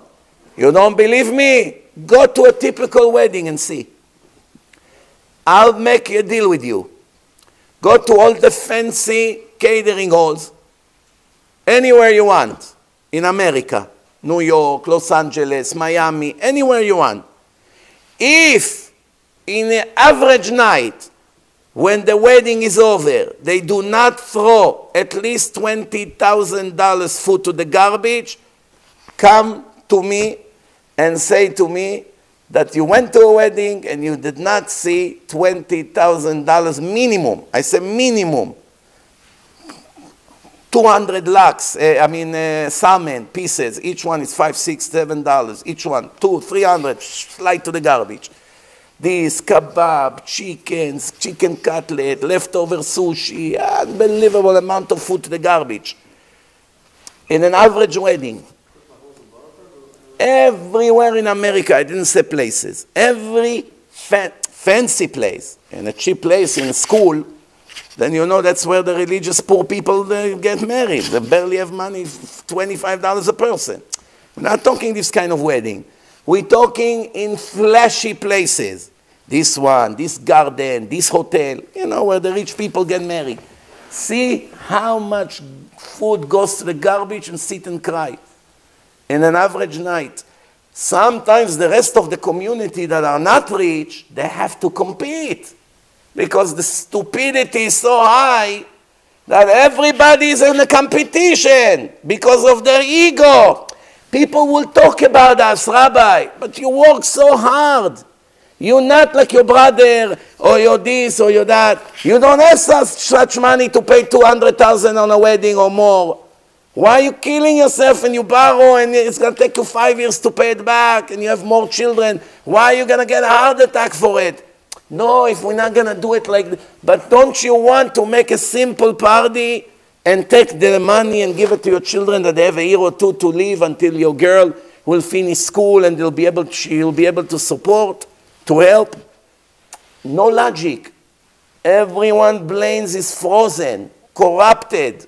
It's all a show off. Then Hashem brings us Corona, put us on our knees. Everybody business is closed. People used to make millions. All of a sudden, nothing comes in. They have high expenses. They live in a very high, high standard. You may think after a year, 14 months of torture, people will lower their standards. Guess what? They are more materialistic today. You don't believe me? You should have gone to Florida in uh, Passover and see what's happening there. The stories that I heard. But I want to tell you something. Every year, Hashem punished the people that go to all these fancy places for Pesach. Why? It's hundreds of questions about kashrut. Not just kashrut of the food, of the kitchen in a goyish hotel, if it's really, if the goyim did not bring bread, the workers, you never know what's happened there. Really, it's a big risk. But even if the food is kosher, the people there are not kosher. Everyone around is naked. Why do you take your children to a place that looks like a beach? You come out of Lela Seder, you walk down to the parking of the hotel or to the backyard to sit, and everybody walks with bathing suit over there, that, and you call yourself religious? Where do you live? You live in a, some dream land. So you want to go to the pharmacy, your kid's coughing a little bit. You walk into the pharmacy in Miami, everybody is naked there. People come up from the beach with their bathing suit walking in the middle. You walk with your religious Bachur Yeshiva over there, with his black hat and tzitziot, and then he comes and sees a naked people walks in front of him, and you call yourself religious? You have to die and not to agree to something like this to happen. For free! They give you the best, fanciest hotel in the world, and you know people walk naked over there. How do you dare to even take a flight and go there? Forget about money. Forget about spending $100,000. So what Hashem does, people rent a place, and they fool them the owner of the places, they rent it to few people. And they show up over there to Erev Pesach, and they already see people there. So we, we came, we paid for that apartment. We also paid for it. And you have no place to be with your family. You stand on the street three hours before Pesach. And the food didn't arrive People sent cheap food. The food did not arrive. They had nothing to eat. Punishment after punishment every year, and nobody gets the point. Why do you need this? What do you need? Sit in your home with your family, invite some poor people, תלמידי חכמים, דברי Torah, down to earth. It will cost you 5% of this stupid trip, and it will be holy. Holy, a peace of mind. You need airport, suitcases, Uber. become יציאת מצרים. Maybe they took the Gemara too literal. חייב אדם לראות את עצמו כאילו הוא יצא ממצרים. It's true, it's, New York is Mitzrayim and they go out of Mitzrayim, but they go out of Mitzrayim and they go to Sdom. That's not Yitziat Mitzrayim. Yitziat Mitzrayim was to the desert, it's clean, no pritzut. A lot of jobs. So the Ben Ish Chai is explaining a rich person that sponsored the Lomdei Torah should know, not should believe, should know one billion percent that all the blessing of his life, all of it, come, come from the fact that he has the merit to sponsor Torah. Now you have to know one thing. Not every wealthy person has the merit to sponsor Torah. Most of the wealthy people in the world, in the Jewish world, will not give one dollar in their entire life for Torah. I know a few billionaires, they give tons of donations. Israeli army, Israeli government, this, that, all kinds of things. But never, never in their entire life a dollar to a holy kosher yeshiva. Why is it? Some of them donate to churches even, to the uh, all kinds of funds, united this, united that, not even Jewish. Some of them even enemies of Israel. They donate to all kinds of causes, to hospital. One uh, Jew, there is a NYU hospital, there is a frame over there, big uh, person that invented something that worth a lot of money, made a lot of money, he donated to the hospital $104 million. Some Jew. $104 million would make 2 million Baalei Tshuva minimum. Minimum, without any slice of a doubt. Imagine. 2 million Baalei Tshuva producing billions of mitzvot for him every hour. This donation to the hospital, let's see what he gave him. You with me? Follow me. I don't know that hospital. I don't even think I haven't been there. I'm talking all hospitals in Israel, in America, in Europe, anywhere in the world. Hospital, in an average day, takes care of, let's say, a thousand people more or less, right? Big hospital, how many people admit themselves to a hospital per day? A thousand? Let's just pick a thousand as a number. It could be more, it could be less. It's not, doesn't matter. From a thousand people that comes to the hospital, how many of them are righteous in the eyes of God? Let's, before you answer me, I will refresh your memory. You have a lot of Muslim radical murderers who wants to kill all Americans and all Jews and everyone who's not like them. They come to be treated. You have Nazis, KKK people, a lot of racist Nazis. You have a lot of people who hate blacks because they're blacks. They're also wicked. You have a lot of racist Jews. They're also wicked. Even if they have long beards and peot, they're wicked. Everyone hates someone else because he's not like him. That means he hates God. Why? Because God made him, and he made him, and he made him. And he, I think that making him and him was a mistake. So that means I declare a challenge against the creator of the world. Why did you make him, and why did you make him? You should have not made them. That means I know better than you what to do, and I'm a Rasha. Racism is pure wickedness. So many of the people who come there are racist. Tons of gays, who is death penalty according to the Torah, Tons of Jews that are Mechalelei Shabbat, which is death penalty according to the Torah. Tons of idol worshippers, Christian, Chinese, Thailandi, Filipinos, all of them idol worshippers. From a thousand people that come to the hospital, if you find one, five righteous one per day, I will be shocked. Five. Real righteous, Avrech, one guy from Borough Park, one from Monsey, one from this synagogue. It's people who follow Hashem and follow the Torah. And some righteous goyim. There's some righteous Gentiles also. They're good, they're not idol worshippers, believe in God, they love Israel. Decent people. Okay, so it's mitzvah to help them. Everybody else, it's not a mitzvah to help them. Sometimes it's a crime to help them. For instance, I have one Bukharian guy, is giving vaccines in Florida. He's the one who told me I gave more than 2,000 vaccines myself, and now one person had one little problem. We have a room, waiting room, and we have a special shot in case something happened to give it. We never ever use it. My firm gave tens of thousands of vaccines, everything went smooth. He's the one who once told me, I have a question. I don't know if I did right or wrong. Yesterday I had one guy came for vaccine. He picked up his sleeve, and what do I see? Swastika, Nazi. Nazi. No, goy in Florida. Now I have to give a vaccine to this Nazi goy. that if it was up to him, would choke me to death and all my people. If I give him vaccine, it's very, very possible that I will save this life, the life of this monster, and also very possible that one day he will kill someone or actually push for killing. Right? He's a Nazi. Nazis don't do good things, they only do bad things. They kill people, innocent people. So now he gave him the vaccine because that's, he's afraid to get fired. It's his job. The question now, after the fact, he was thinking, maybe I made a sin. Was I allowed to give a racist Amalek mitzvah from the Torah to wipe them out from the face of the earth? Do I have to give him vaccine? There are three options. One, to give him vaccine. Second, to give him placebo, water, nothing. Third, to put poison and give him. Which one of the three is correct? When I come back from Israel, you give me your answers. You have one, two, and three.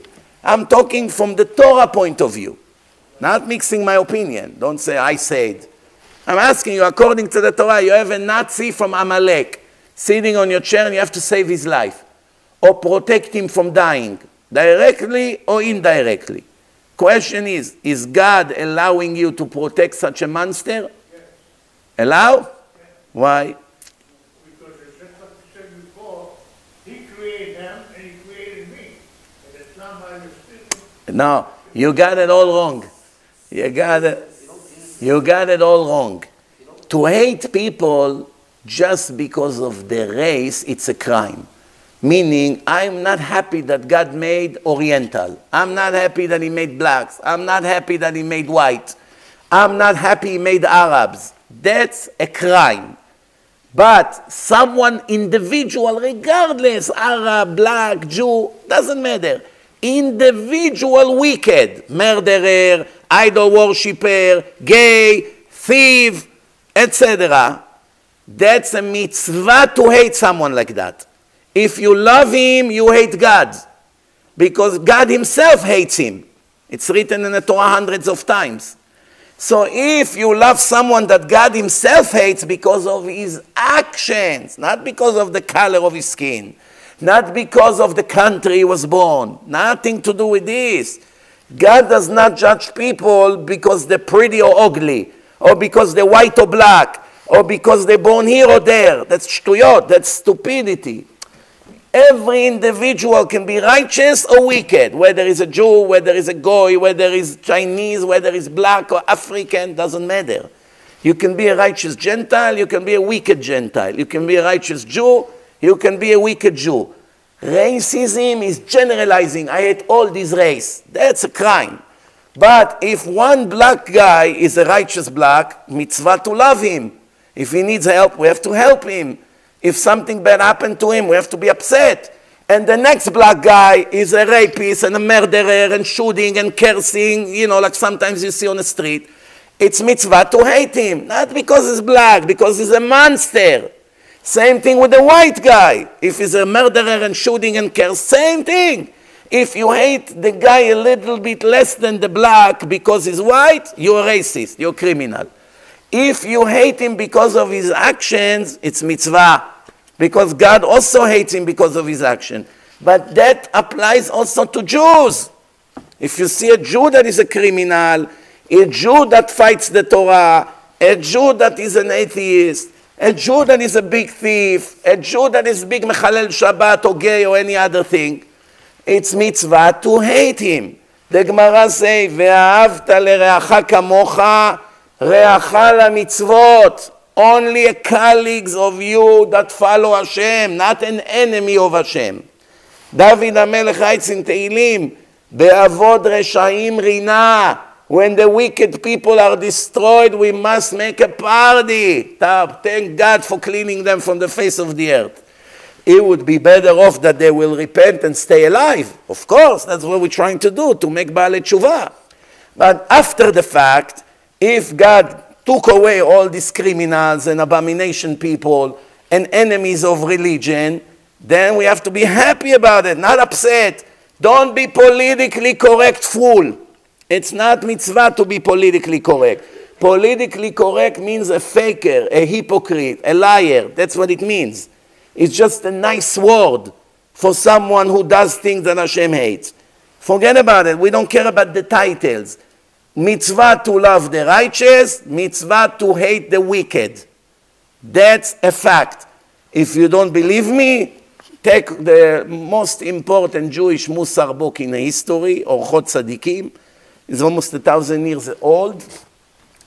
Go to the chapter of flattering, Hanufa, and read the whole chapter, a few pages over there. Huh? Or watch my series, Way of the Righteous. I speak about all the sources are right there. Everybody who tell you otherwise than what I told you right now is lying to you. Lying to you. There's no mitzvah to love wicked people who fight against God. There's no mitzvah to love someone who burns a Sefer Torah and burns a synagogue. There's no mitzvah to love someone who go and kill someone because he doesn't like how he looks. There's no mitzvah to love the gays that walks naked on the street in front of the children and show their mental sickness to the street, to the whole world. You have a problem? Do it in a place that nobody knows about. There's nothing to be bragged about. You understand? So if you love them and if you run and take pictures with them and put it on your Facebook page, it means you hate God. Because God hates it. It's written in the Torah that he hates abomination. It's written, it's a verse in the Torah. God is not a liar. He said in the Torah that he hates this kind of people. That's why he gave them death penalty and a cut for the soul. So if you want to love and kiss someone that spits at your father in heaven, it means that you hate your father in heaven. There's no, it can't be both. You can kiss the enemy of your father and then at the same time you say, I love my father. Yes.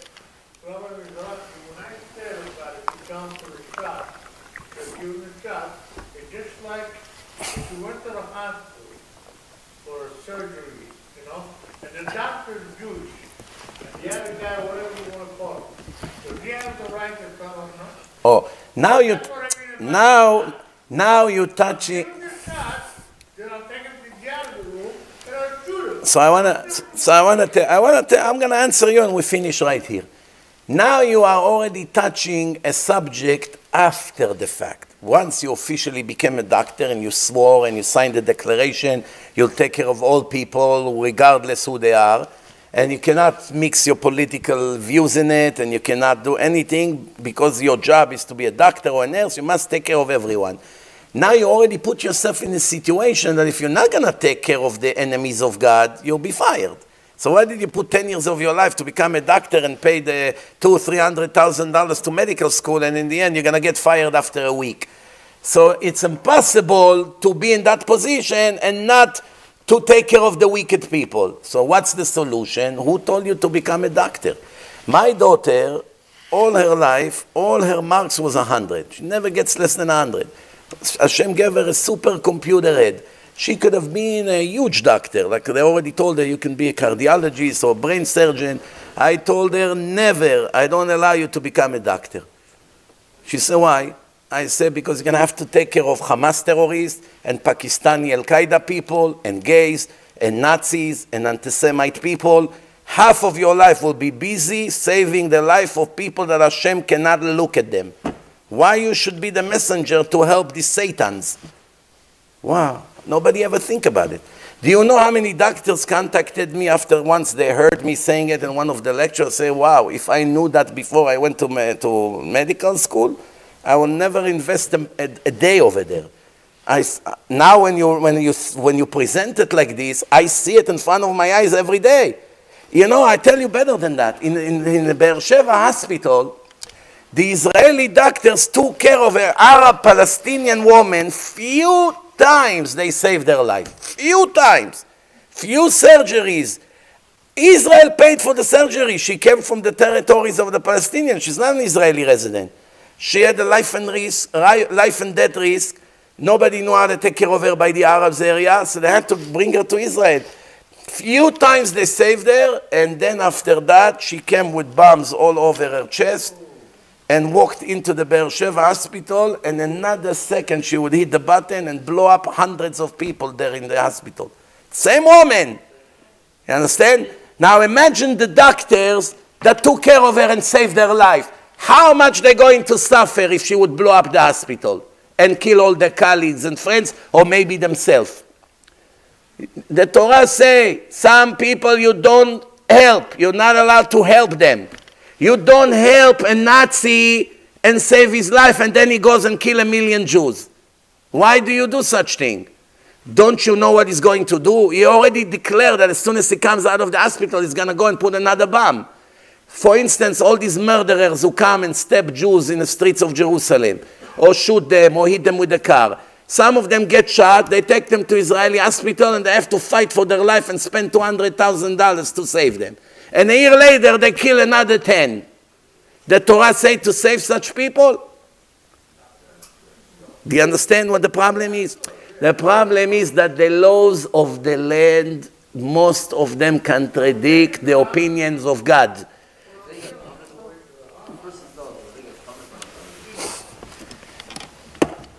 The answer is when I come back from Israel. We still did not give the answer. He said something which was incorrect. I had to correct him. Think, think. It's not, what do you think? This question, it's easy. It's first of all, you have to think if somebody is there. People see or people don't see. What you signed on, what you didn't sign on. What kind of doctor you are. What are the odds for him to live and to do damage to others? There's so many questions here. That's a very complicated halacha question. There's something like this. You have to ask someone like Rav Elyashiv. Am I allowed to take care of a Hamas terrorist knowing that his life is to murder kids? How can it be Chilul Hashem that you say to me, I have to make a sin in order for me to avoid Chilul Hashem? So oh, oh why are you breaking Shabbat? Because my, my neighbors are all anti-religion and they hate that I'm religious. So every time I keep Shabbat, they get angry. So I start to break Shabbat to make them happy, not to cause Chilul Hashem. That's stupidity. What do I care about them? I have to keep Shabbat. They don't like it, but they're their problem.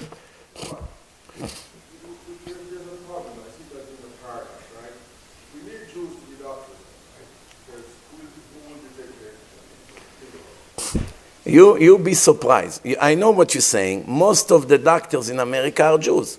50% of the Jews in America are not even 6 million altogether.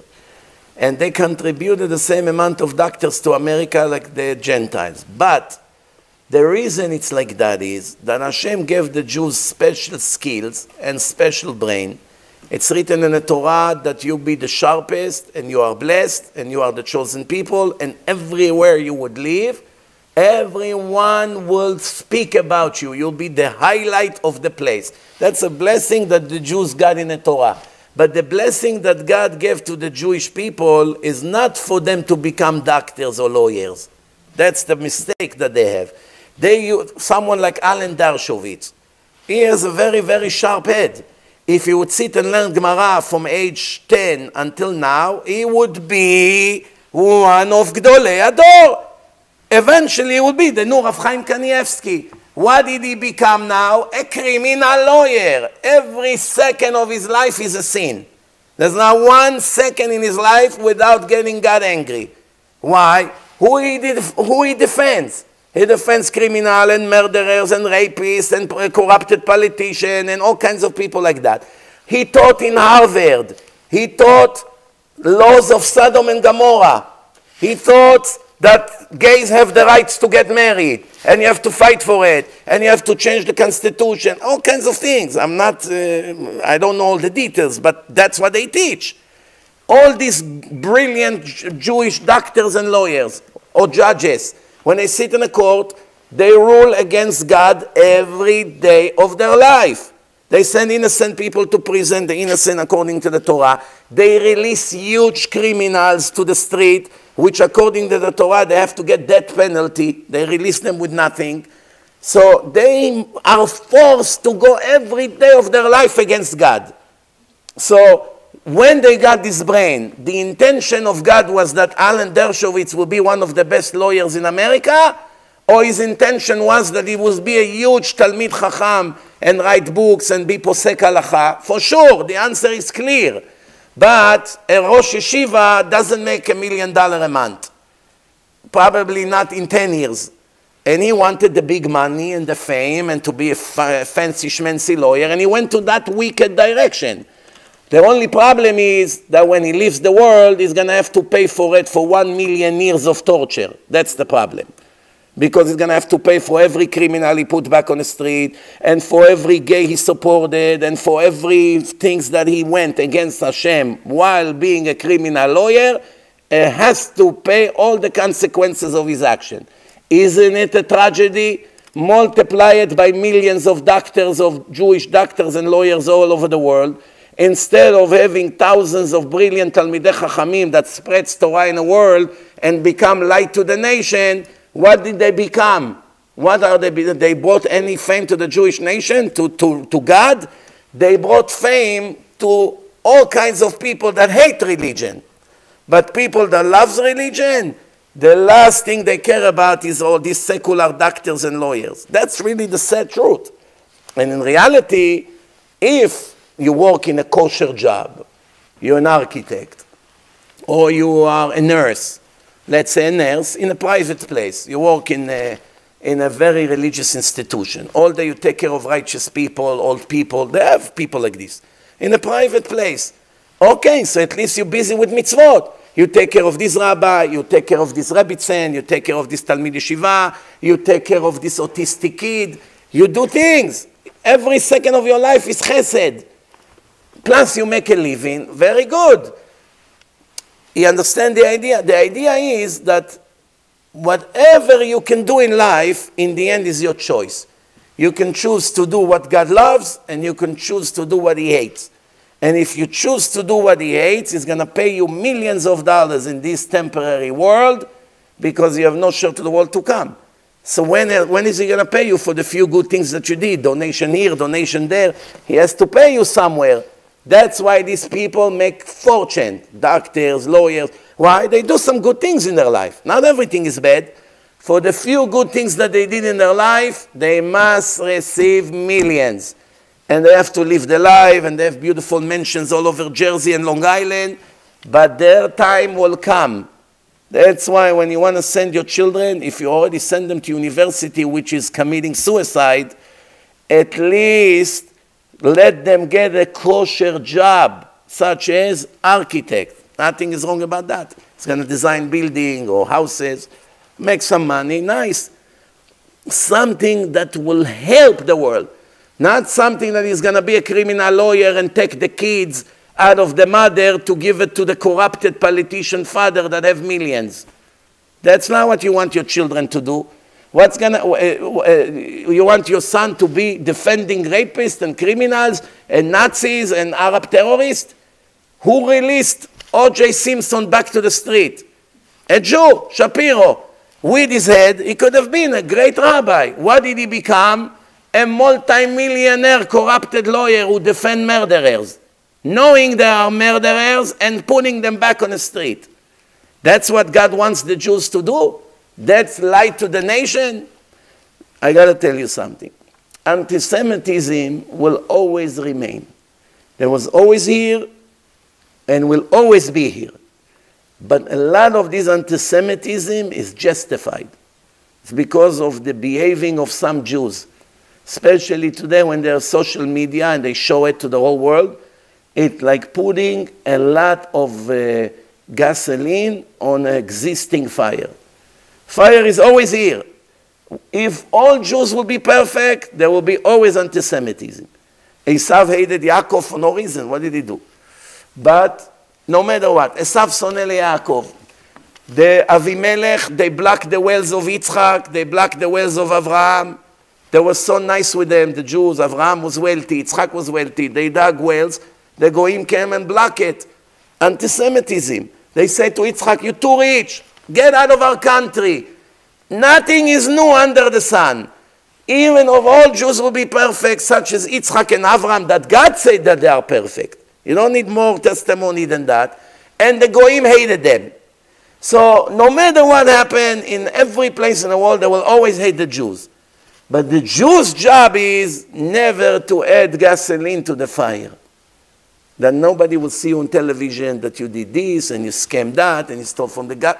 That's the idea. And unfortunately, a lot of these Jews do not pass the test. Hashem put them here in a test, gives them the brain, gives them the mean, And instead of following Torah and become legendary chachamim, they become corrupted politicians, corrupted lawyers, all kinds of doctors who does all kinds of things under the table. That's not what God wants. Conclusion, Rabotai, direct your children to something kosher. I used to think that family lawyer is kosher, but not anymore. Family lawyer. No, you, you settle a divorce between a couple. No, no. There are also a lot of them are big criminals. They stretch the case as much as they can until they drain both sides. They take away everything they have. The case could be finished sometimes in a month or two. They drag it years. But not only that, they do other things also.